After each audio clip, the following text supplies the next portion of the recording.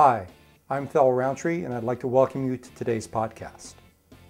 Hi, my name is Thel Roundtree, and I'd like to welcome you to this edition of the HowAudio.com podcast.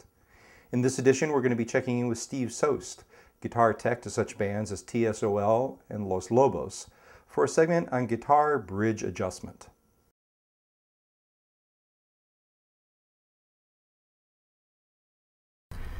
Okay, now we've got the neck set pretty much where we want it. The next step would be to adjust the action at the bridge. And the action, it would be generally measured at the 12th fret. And right now you can see it's a little bit high here. And we'd like to get it down where it's comfortable to play, but it's not buzzing.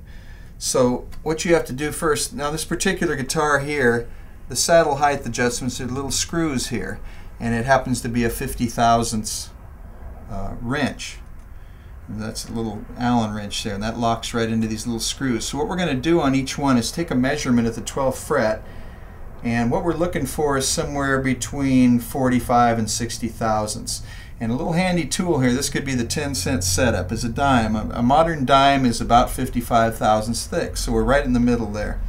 So what we're going to do is check it. We'll lay the dime under here, the, lay it on the 12th fret and balance it.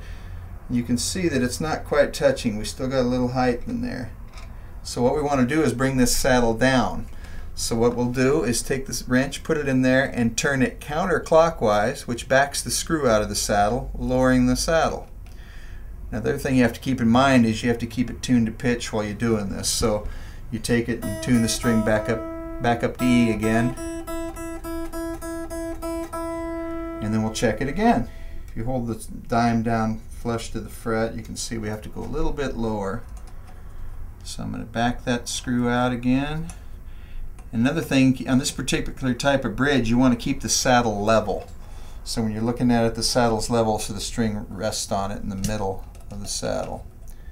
Back that off about there. Okay, retune again each time. Okay, there's our E. Take the dime, hold it down to the fret. We're getting real close.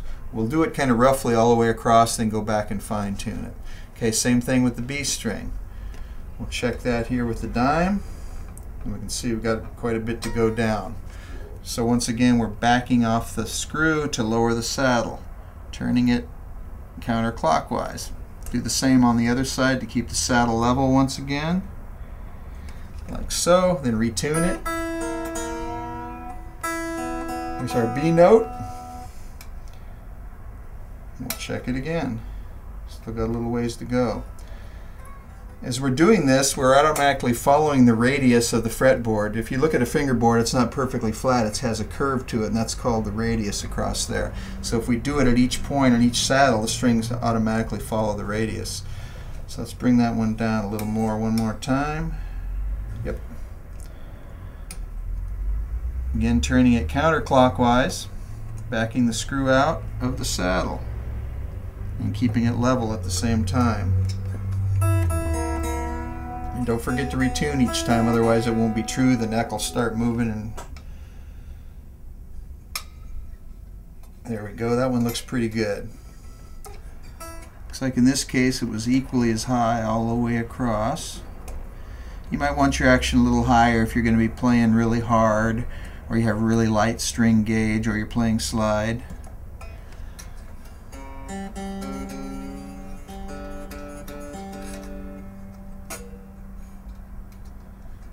Really close. Sometimes we come up a little bit as you get down to the lower wound strings towards the E. You might want a little more gap because those are looser in tension and they tend to travel more, so it's good to have the action slightly higher. That one's probably pretty good. Now on to the A. That's pretty good, making nice contact. Now we'll check our tuning once again. Happens to be in tune. I can look here at the action and see it just where I want it, just right. Thanks, Steve. Well, that about wraps it up for this edition of the HowAudio.com podcast. Be sure to check us out on the web for all your music, audio, and software training needs.